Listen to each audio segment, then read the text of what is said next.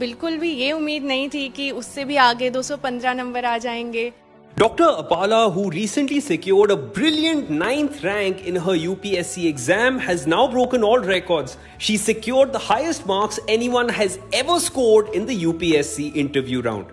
जो पहला सवाल था इंटरव्यू रूम में घुसते ही वो सबसे पहला सवाल था कि ये जो अपाला नाम है इसका क्या मतलब है अपाला जो है वो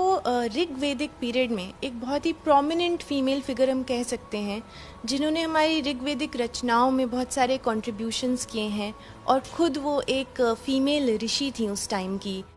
but as she stepped in for the interview, she was in for a surprise.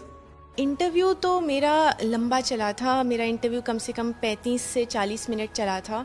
और चूँकि मैं आखिर में जाने वाली कैंडिडेट थी इसलिए शुरुआत में मुझे थोड़ी घबराहट लग रही थी कि आखिर में हूँ तो क्या पता कम छोटा चले या जल्दी से ख़त्म हो जाए।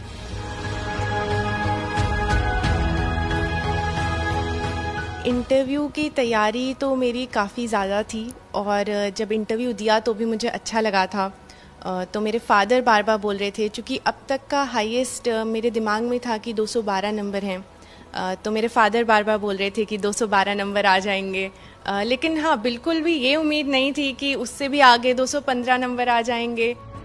As the world takes note of Dr. Apala's achievements, she shared her mantra of success, which has more to do with herself rather than her books. मुझे लगता है सेल्फ कॉन्फिडेंस बहुत ज़्यादा ज़रूरी है इस एग्ज़ाम में भले ही कोई भी स्टेज हो प्रीलियम्स मेंस या इंटरव्यू खुद पे भरोसा रखना और खुद को काम और कंपोज रखना बहुत ही ज़्यादा ज़रूरी है